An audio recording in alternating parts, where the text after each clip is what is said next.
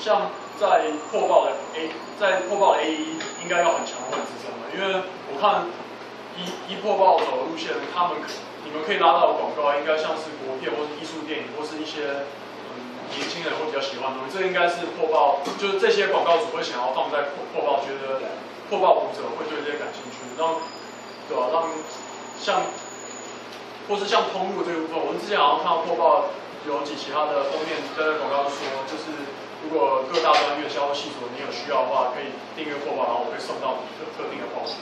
就是通路的部分跟广告的部分，就是像我我现在自己经营一直报社团，就是其实知道这都是很现实的东西，懂？就是像这个东西，懂？能多谈一点？我们我们的 A 其实工作很久，所以他他非常知道 niche，他知道怎么样跟跟广广广告主要要钱，这是完全经验。就是说我们现在有很多劣势，可是我们的优势是我们可以直接进到大学校园里面去，你看因为很多话很难。所以我们通常用的方法，然后其实那些人，那些广告 A 其实比记者还了解线上，他了解所有的电影发行公司，他们的经理是谁，然后演员是谁，然后问剧团的经理，问唱片公司的经理，其实他们非常资深，懂吗？所以我有时候觉得我们的广告 A 是我们很好的 source，新闻联络的，它不是只是拉广告而已，你这样才可以把这个 team 组在一起。我就说，如果你只是把它分成两组，一组是生产，一组是再生产，说。一组是生产文字，一组一组是拉钱再生产，你这个不会是个品所以我们很多记者其实都要有有有时候要请教那个广告经理，问他们说，哎，你觉得像这个他们两个斗争怎么回事？可以帮我们讲什么？那在争议上，我会有一个说，就是如果这一期呢是有这个广告商刊，那我们就不要这一期骂他，因为我们可以下一期骂他。真的，因为我们送报纸的时候，比如你你看广告，我就我会送给你这一期的报纸，因为广告商不见得会看到下一期的内容。他当然不会看，所以 我就是用这种很奇怪的平衡法。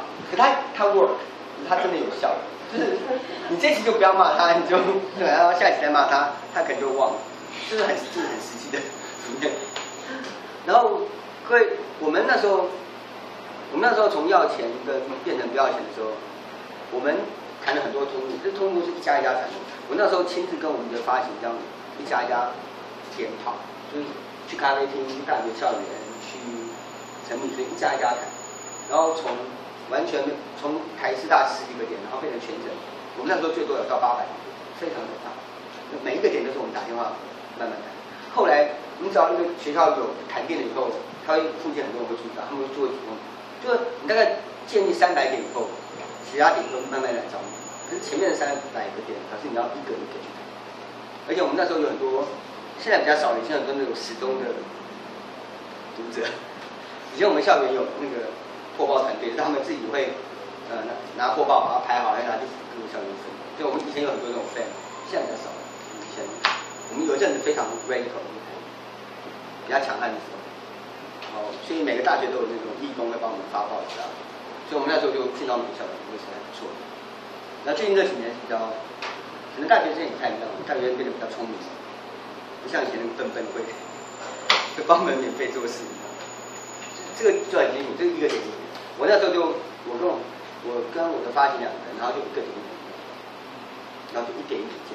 然后那时候他们不知道什么是杂志型的报纸，就你知道他这个对他来说不是报纸，是杂志，他有点难难归类。像这种东西是我们做了很久以后，大家才可以接受。然后像爽报跟新报就突然收割，因为大家都习惯这种形式。我是说真的啊，这种这个历史都是这样。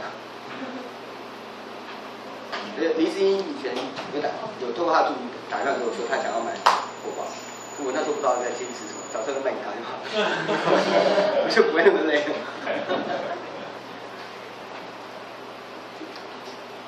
好吧，这就是另类报的故事，还有还有什么？